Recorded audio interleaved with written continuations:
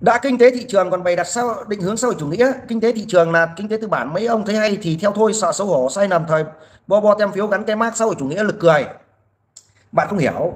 Để hôm nay à, giải thích với bạn không chửi mới không gì cả, nhưng đây là thuần về về về học thuật nhé tại sao người ta lại gọi là kinh tế thị trường định hướng xã hội chủ nghĩa? Bởi vì người ta nhìn thấy cái xấu của tư bản. Người ta không phủ định những cái hay của tư bản. Tức là người ta sẽ học kinh tế thị trường, đó là tư bản. Nhưng trong cái tư bản đó, người ta phải kiềm chế cái xấu, có nghĩa là tránh cái trường hợp cá lớn nuốt cá bé nên bắt buộc phải định hướng xã hội chủ nghĩa. Tức là kinh tế thị trường như phải phục vụ xã hội chứ không phải kinh tế thị trường mà phục vụ bản thân của một ai đó. Bởi vì người ta coi rằng là tất cả những cái tài nguyên bây giờ nó không chỉ là tài nguyên dưới mặt đất tài nguyên ở, ở dưới biển. Tài nguyên lòng đất mà cái tài nguyên về thị trường tài nguyên về con người đều là cái thứ chung.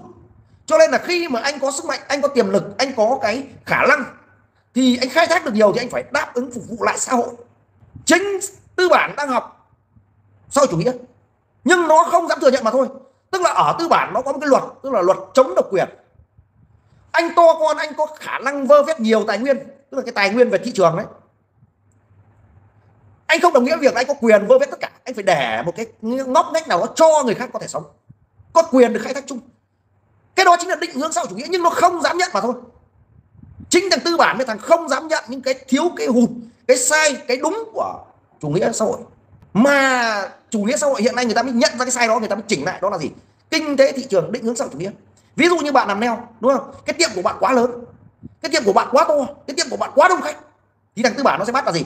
Một tháng bạn phải nghỉ hai hoặc ba cái chủ nhật để cho những cái tiệm khác người ta còn có cái miếng cơm người ta ăn. Chứ không phải là tiệm bạn quá to tiệm bạn quá lớn làm cho các tiệm khác phá sản hết. Bạn phải biết san sẻ với người khác. Cái này ở bên nước ngoài nó không gọi là định hướng xã hội chủ nghĩa mà nó định hướng ở nó, nó dùng một cái thuật ngữ khác đó là gì? Chống độc quyền ok bạn đi chào. Có hiểu vấn đề không?